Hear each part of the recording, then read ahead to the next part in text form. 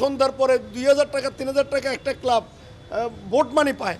এগুলো বন্ধ করার জন্য যারা সুযোগ নিছে, এটা কিন্তু ভালো দিক না খেলাধুলার জন্য। প্লেয়ারগুলোকে বেতন দিতে হয়। কোনো প্রশাসন কি পাঁচ টাকা প্লেয়ারদের বেতন দেয়? ওরা কীভাবে খেলে? টাকাটা করতে গেছে সরকার কি ওদেরকে কোনো টাকা দেয়? দেয় না।